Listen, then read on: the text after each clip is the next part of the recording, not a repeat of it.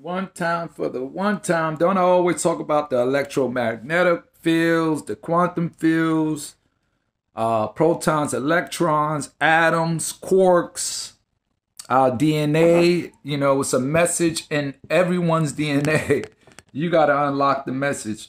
But these people, they've been doing this for some time now. So you got to listen with a, a, a, a you know, your God ears. Put it that way. Put it that way.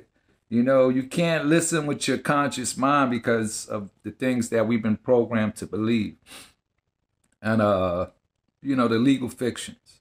But uh this is the time we in the battleground where we're gonna uh uh you know arrive and ascend to the next level of consciousness.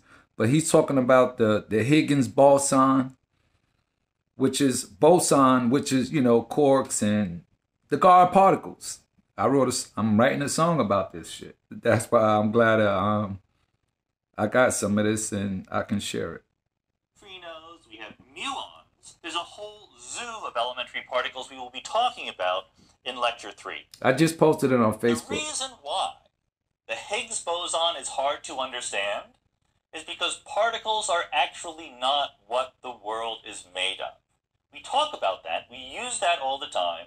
And so when we talk about the Higgs boson, it's a particle. It's a boson, which, as we will see, is one of the two major kinds of particles. However, that's just sort of a sloppy approximation to, to the true underlying reality. Our modern idea, the idea that is really centrally important to modern physics, is that the world is not made of particles, but it's made of fields. Thank you. A field, unlike a particle, is spread out everywhere. Everywhere. We're everywhere. At See, every universe. point in space and time. A particle has a location, but a field is spread out everywhere and is vibrating, is changing its value. See, vibrating. the temperature of the air in the room at every point. Elect- in a um, room, there's a temperature. Uh, energy, That's frequency. That's a field. and vibration. Temperature is not a fundamental field. It's a derived quantity that comes from the air, comes from the molecules. The modern point of view on the fundamental nature of reality is that quantum fields, Quantum vibrating fields. at every location in space and throughout time, are the fundamental building blocks of nature. You may have heard the question is light or are electrons particles or waves? I will tell you the answer. They are waves.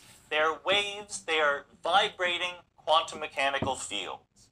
What we call particles are Where's just what we see Oh, got it. when we look at the fields. That is the miracle of quantum mechanics. That's one of the subtle Look at the things we'll describe during the- this course. The purple, Now, why is it such a big difference? That violet color? care That the world is made of fields versus particles? Well, like I said, when you look at the field, you see it vibrating, you see a particle there, so it makes perfect sense to use the language of particle physics to say there's an electron particle, even though we really know there's a vibration in the electron field.